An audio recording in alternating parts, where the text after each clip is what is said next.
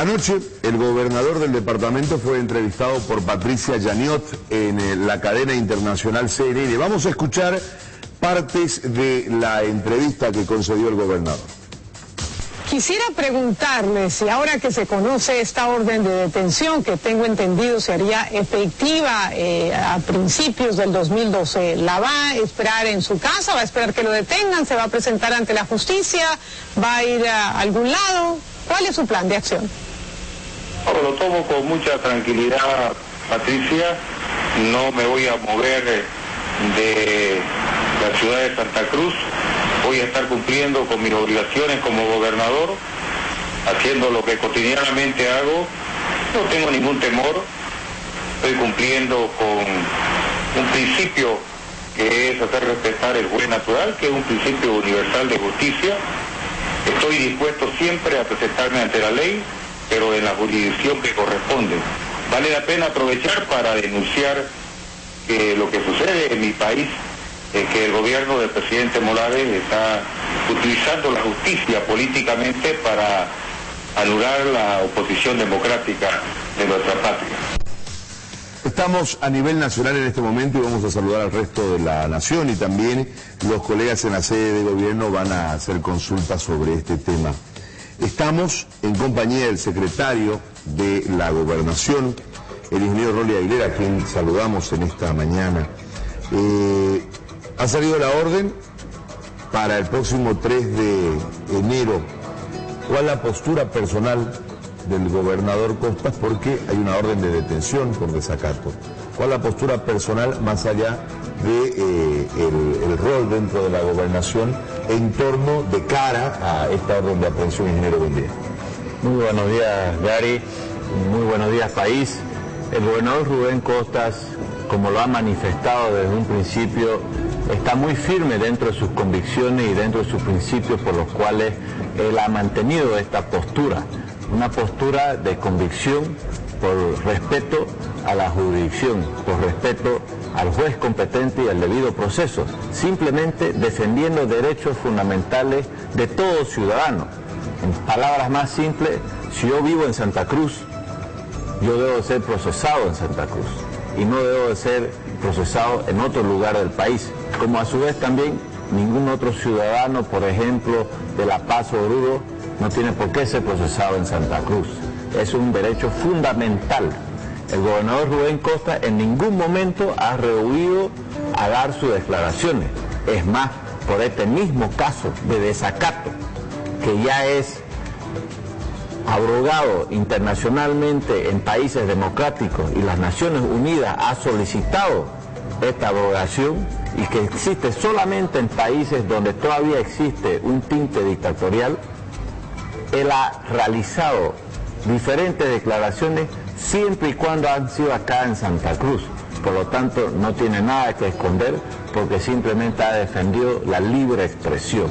Y en ese sentido, él, tiene claro de que él ha permanecido en Santa Cruz, está en Santa Cruz y va a continuar realizando su trabajo, su gestión. Lo está haciendo ahorita y lo continuará haciendo hasta que así tal vez lo impidan por la fuerza. Ahora, hay una orden de aprehensión, es decir, eh, el gobernador qué va a hacer? Va a desarrollar con normalidad ese próximo 3 de enero su rutina, se va a esconder, se va a ir del país, ¿qué va a hacer? No, lo he expresado y él lo ha mantenido a lo largo de este último tiempo. Él, durante este tiempo, hasta el 3 de enero, va a hacer gestión. Ha estado realizando gestión el 3 de enero él va a estar aquí en Santa Cruz presente trabajando, trabajando por Santa Cruz, por su pueblo y con total convicción. En ningún momento se va a ir del departamento, menos del país, y tampoco se va a esconder porque no tiene por qué esconderse. Él no ha realizado ningún acto contrario a lo que tiene, a lo que deberían ser sus derechos fundamentales. El abuso es por parte del gobierno. El gobierno se viene equivocando por una angurria de poder, por tratar de absorber un poder absoluto que ya perdió en la legitimidad de la gente en más de una oportunidad en este último tiempo. Y por ello, si el gobierno quiere continuar abusando de la fuerza y quiere encarcelarlo el gobernador, él está dispuesto a estar físicamente detrás de las, detrás de las rejas, pero en ningún momento acallado por esta angurria de poder. Son, eh, ingeniero, cuatro, o fueron, mejor dicho, cuatro en un momento prefecturas, luego gobernaciones, que eh, eran contrarias a la posición política del eh, movimiento al socialismo y de la administración de los destinos del país. Este, primero, Leopoldo Fernández, cuando eran eh, prefecturas.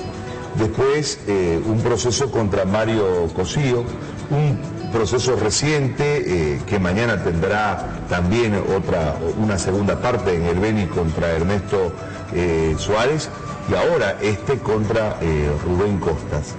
¿Qué es lo que sucede? ¿Qué es lo que se pretende con eh, estos cuatro procesos en contra de los que en su momento eran opositores? Lo que pasa es que el gobierno está aniquilando la democracia plural dentro del país, porque no es solamente contra los gobernadores, es contra todo quien piensa distinto al gobierno no nos olvidemos de Joaquino en Potosí, no nos olvidemos a su vez también de los alcaldes de Quillacoyo y de Sucre, que fueron borrados por la fuerza y el abuso del poder, y, y el domingo el pueblo le devolvió con el voto nuevamente la respuesta al gobierno. El gobierno está aniquilando la democracia, borrando a sus opositores a través de una manipulación de la ley, a través de una manipulación del sistema jurídico, que no nos olvidemos también que, fue, que hace unos meses atrás el pueblo nuevamente le devolvió la respuesta al gobierno con más de 60% de voto nulo y voto rechazo en las elecciones judiciales por esta manipulación que está efectuando. Bueno, hemos escuchado el aspecto político en la, en la lectura de la gobernación sobre el proceso al gobernador Costas que ha derivado de una orden de aprehensión que deberá ejecutarse el próximo 3 de enero.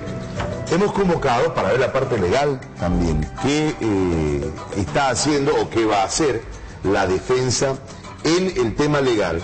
La defensa la maneja el abogado Richard Cardoso. Doctor, gracias por acompañarnos.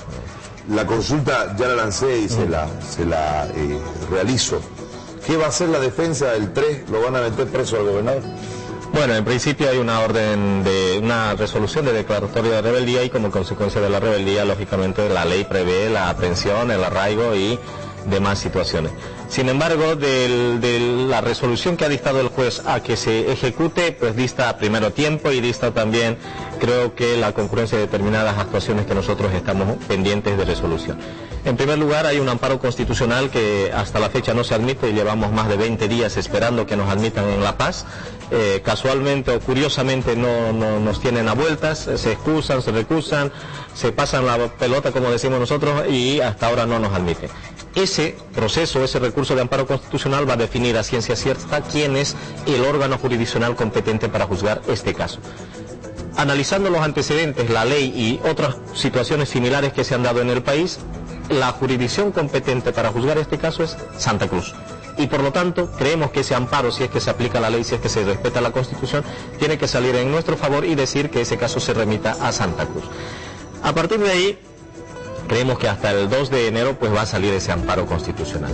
O caso contrario, si es que no sale, también ya nosotros hemos impugnado la decisión adoptada por el juez porque entendemos que la decisión es apresurada, es una decisión que va en contra de la Constitución y todos los antecedentes que rodean a este proceso. ¿Qué se fundamenta la orden de aprehensión? En primer lugar, el juez erróneamente dice de que el gobernador no habría justificado su incomparecencia, lo cual no es cierto. En primer lugar, hemos justificado desde el punto de vista jurídico, por así decirlo, de puro derecho, diciéndole al juez de que hay excepciones y cuestiones incidentales pendientes de resolución y fundamentalmente amparo constitucional donde se va a definir quién es la autoridad competente. Entre tanto no se resuelva dichos recursos, dichos incidentes, no, el juez no podría actuar de ninguna manera. En otras palabras, eh, la competencia del juez está en duda, está impugnada, está puesta en entredicho.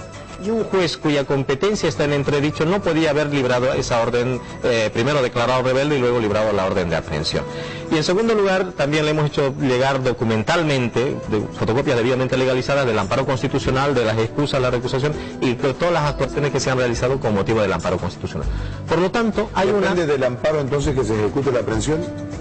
¿Puede En- interpretarse o no? Dos, dos eh, medios de defensa. Primero hemos impugnado la resolución de rebeldía. Le hemos dicho al juez que revoque esa resolución eh, porque no se ajusta a los antecedentes del proceso. Y segundo, le hemos dicho que entre tanto no haya amparo, deje en suspenso la ejecución o la eventual emisión de la orden de aprehensión. Entonces hay dos vías de defensa. Uno, impugnación directamente contra la resolución de rebeldía y de aprehensión. Y otro, el amparo constitucional que creemos va a definir a ciencia cierta cuál es el órgano competente. A partir de ahí, entre tanto no se den ambas circunstancias, creemos que como consecuencia de la impugnación contra la resolución de, de rebeldía, eh, queda en suspenso la ejecución, ya sea hasta 2 de enero, hasta 3 de enero, hasta cuando nos resuelvan, incluso en apelación, de que esa orden de aprehensión o la declaratoria de rebeldía ha estado legalmente emitida. Entendemos que desde nuestra percepción esa orden no ha sido legalmente emitida. Doctor, gracias por venir, muy amable por la explicación.